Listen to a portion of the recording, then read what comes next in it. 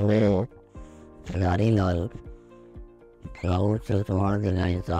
का रहने वाला हूँ मेरे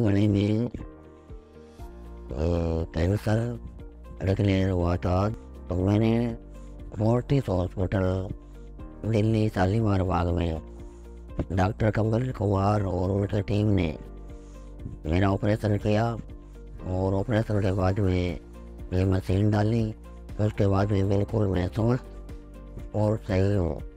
मेरे किसी तरह की कोई बोलने में तकलीफ़ नहीं है। खाने में, पीने में, बोलने में मैं हर तरह से फिट और स्वस्थ हूँ। डॉक्टर कपिल कुमार से मेरी जानकारी पहले से थी। डॉक्टर संदीप मेहता और डॉक्टर कपिल कुमार को मैं पहले से जानता था। पेट से तकलीफ़ होने के बाद मैंने संपर्क किया और इन्होंने मुझे यहाँ बुला के और मेरा ऑपरेशन 2000 मार्च 2019 में मेरा ऑपरेशन हुआ। मैं उसका नाम का तो मेरे ध्यान नहीं है, वो मशीन लगाई डॉक्टर साहब ने ऑपरेशन के बाद में।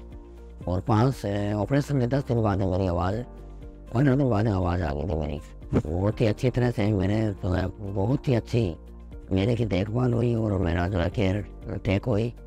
मेरे को बड़ा सहयोग मिला डॉक्टर साहब की टीम का और डॉक्टर साहब का। और हॉस्पिटल की तरफ़ से भी मेरे को बड़ा सहयोग मिला। मैं बड़ा संतुष्ट हूँ बात से। मेरे को तो रिकवर मैं एक हफ़्ते में रिकवर हो गया था तो दो हफ़्ते में मैं बिल्कुल रिकवर हो गया था खाना पीने लग गया था सब कुछ दो हफ़्ते में रिकवर हो गया था मैंने अपने आप को मेरी आवाज़ निकाल ली मैंने और मैं अपने आप ही बोलना शुरू कर दिया उन्होंने पंद्रह या बीस मिनट लिए थे पंद्रह बीस मिनट में मैं अपनी आवाज़ अपने आप ही ले आया अंदर से तो उन्होंने भी ये कहा था कि आप तो आवाज़ भी अपने आप ले आए तो पाँच या सात दिन दस दिन मरीज़ को जो है। वो आप करवाते हैं पाँच दिन से सात दिन से, तब जाके आवाज़ आती है। और मेरे को दो तीन वर्ड दिए थे। भैया, आप बोलो। मैं दो तीन वर्ड उनसे बोले ही नहीं। वो बिना ही आवाज़ अपने निकालनी शुरू कर दी उनके बिना ही वो के फिर भी उन्होंने एक दो बार बुलाया। मेरी आवाज़ बिल्कुल साफ़ आ गई, सुंदर आ गई। उन्होंने भी ये कहा कि आपकी आवाज़ बोल दो M doctor Kapil Kumar director cancer surgery Fortis hospital Shalimar Bagh Bagh. I I'll be talking about one brave patient. His name is uh, Mr. Hazari Lal, 55 year old. He is a known smoker and he came to us in March of uh, 2019 with failure of radiation.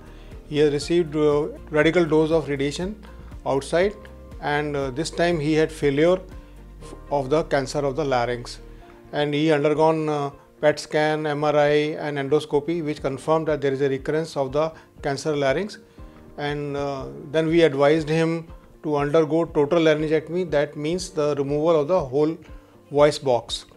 He agreed with some uh, counseling and he underwent total laryngectomy and removal of the neck nodes in the form of neck dissection and because there was a defect in the pharynx so that we reconstructed with the petless major myocutaneous flap he recovered well and for his voice restoration we we got him the tracheoesophageal processes in the form of Provox processes which he is using and I am very happy that he has been able to rehabilitate himself and he is able to speak almost normally and he can communicate very very well.